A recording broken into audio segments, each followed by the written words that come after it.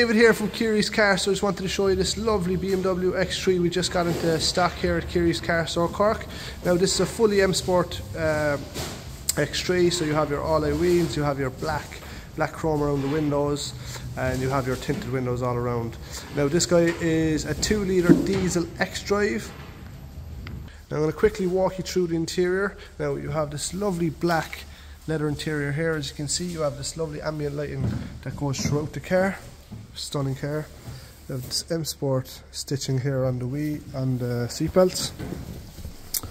You have your infotainment system up here, your climate control here with your heated seats, your automatic airbox with your sports and comforts modes, automatic handbrake, some storage space here, multifunction steering wheel with your digital display. You also have a heads-up display in this vehicle.